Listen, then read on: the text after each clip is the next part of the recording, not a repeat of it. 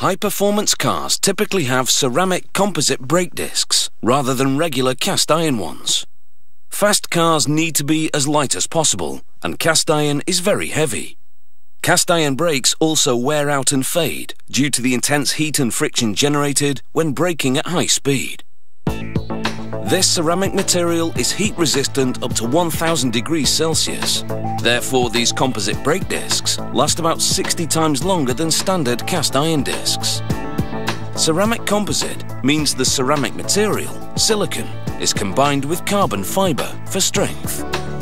The disc factory prepares the carbon fibre by mixing two ingredients, a heat-moulded resin and chopped pieces of extremely strong yet lightweight raw carbon fibre.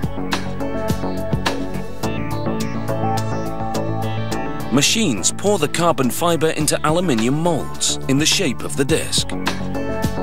The first filling station fills the mould cavity only halfway. Workers then fit a slotted belt around the mould and insert aluminium cores into the slots. These cores will form a ventilation channel in the disc ring to keep the disc from overheating.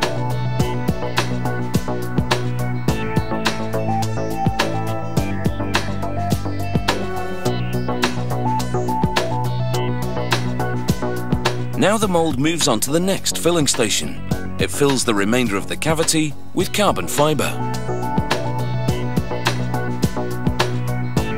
A roller levels the top.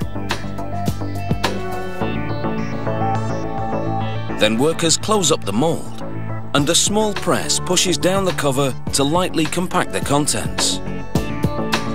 The mould enters a large press which applies 20,000 kilograms of pressure while heating to 200 degrees Celsius. This compresses the carbon fibre further and transforms the resin powder into plastic. Once the mould has cooled down enough to be handled, workers submerge it in cold water for 5 to 8 minutes.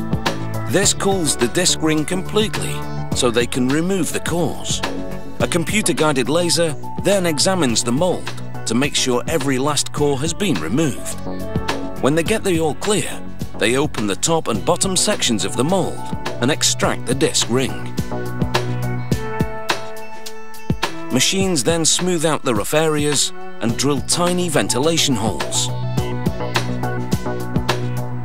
They put the disc ring into an oven, which over the course of two days gradually heats it up to approximately 1000 degrees Celsius. This causes a chemical change, which transforms the plastic into carbon. Next they take a crucible and position five mounts inside. They place the disc ring on the mounts. Then in the middle, a funnel, into which they pour a ceramic material, fine silicon powder. Then they load the crucible into an oven for 24 hours. It gradually heats the disc ring to 1700 degrees Celsius, melting the silicon. Then it applies low-level suction, drawing the now liquid silicon into the disc ring. This creates an exceptionally hard new material called silicon carbide.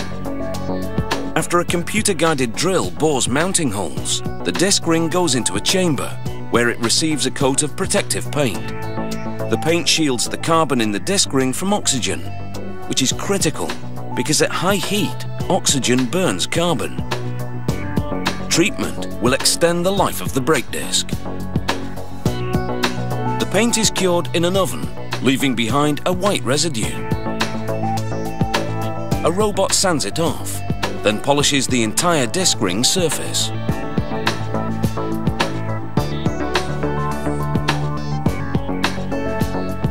Here's what the finished disc looks like before it's cleaned and polished. And after. Every single brake disc undergoes a meticulous inspection.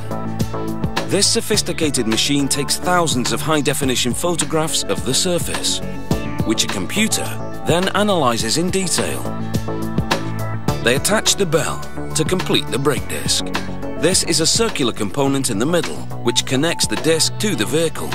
It's made of either aluminium or stainless steel and bolted into the mounting holes in the disc ring.